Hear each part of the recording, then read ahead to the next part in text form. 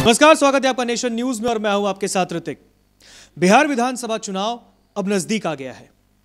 कल 28 अक्टूबर है और बिहार में पहले चरण में मतदान होना है। मतदान से पहले हर एक राजनीतिक दल के नेता कार्यकर्ता ने बिहार के कोने कोने में जाकर एक दूसरी पार्टी के लिए जमकर उन सब पर निशाना साधा और एक दूसरे पर वार पलटवार किया।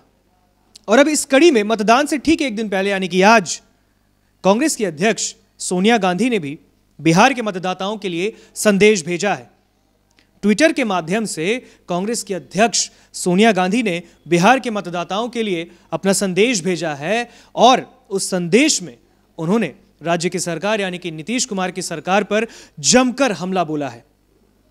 क्या कुछ कहा है कांग्रेस के अध्यक्ष सोनिया गांधी ने? आप देखिए इस वीडियो में। बिहार के मेरे प्यारे भाइयों और बहनों, बिहार की पवित्र और ऐतिहासिक धरती को मैं नमन करती हूँ। आज बिहार में सत्ता और उसके अहंकार में डूबी सरकार अपने रास्ते से अलग हट गई है। ना उनकी करनी अच्छी है, ना कटनी मजदूर आज मजबूर है, किसान आज परेशान है। नौजवान आज निराश है। अर्थव्यवस्था की नाजुक स्थिति लोगों के जीवन पर भारी पड़ रही है। धरती के बेटों पर आज गंभीर संकट है।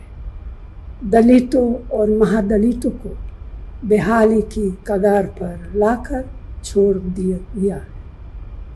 समाज के पिछड़े वर्ग भी इसी बदहाली के शिकार है। बिहार की जनता की आवाज़ कांग्रेस महागठबंधन के साथ है।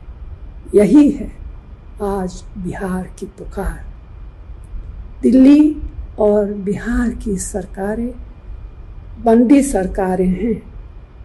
नोटबंदी तालाबंदी व्यापार बंदी आर्थिक बंदी खेत खलिहान बंदी रोटी रोज़गार बंदी इसीलिए बंदी सरकार के खिलाफ अगली नस्ल और अगली फ़सल के लिए एक नए बिहार के निर्माण के लिए बिहार की जनता तैयार है। तो सुना आपने, कांग्रेस की अध्यक्ष सोनिया गांधी ने क्या कुछ कहा है बिहार के मतदाताओं के लिए? अब बिहार के मतदाताओं को यह निर्णय लेना है कि वो किस सरकार, किसकी सरकार बिहार में बनते देखना चाहती है। फ़िलहाल के लिए दीजिए इजाज़त और विधानसभा के लेटेस्ट अपडेट्स के लिए जुड़े रहिए हमारे साथ और विधानसभा चुनाव के लेटेस्ट अपडेट्स देखिए हमारे साथ और देखते रहिए नेशन न्यूज़। नमस्कार।